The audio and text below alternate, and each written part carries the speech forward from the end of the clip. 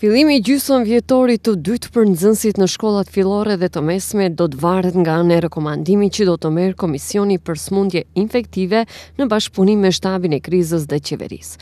Kështu tha ministri i Shëndetësisë Jeton Shaqiri, i pyetur se a do të fillojë më një shkurt gjysmëvjetori i dytë, pas prolongimit që u bë ditë më parë. Nuk e vendos as unë si ministër, po as ministria. Do pres urgjent takim të realizoj ditën e enjte dhe të premte me Komisionin për Sëmundje Infektuese vetëm për këtë problematikë.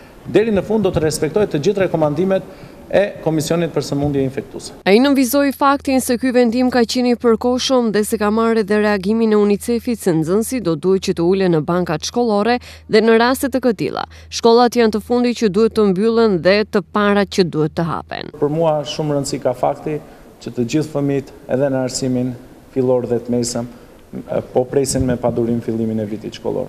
Ndërsa nga ana tjetër duhet ta kemi parasysh dhe rekomandimet e UNICEF-it që i dha për mosmbylljen e shkollave ose institucioneve arsimore të jetë vendimi i fundit dhe unë atë e thashë se ky vendim që ishte kjo mbyllje ishte e përkohshme, duke pritur që varianti Omicron të arrijë pikun dhe të kemi të fillojmë rënien, duke ditur nga gjykimet paraprake me variantet e ndryshme që kanë atë periudhën gjashtë, shtatë ose tetë javë nga e arrijnë maksimumin dhe do vazhdojnë edhe rënien. Shpresoj që viti i dy mijë e njëzet e dy të jetë pa variante tjera dhe të jetë më i mirë për nxënësit, për studentët, për stafin akademik, për profesorët, për gjithë shoqërinë. Ai tha se pret me padurim që nxënësit të kthehen në bankat shkollore, që sipas tij kjo dëshirë është edhe e nxënësve.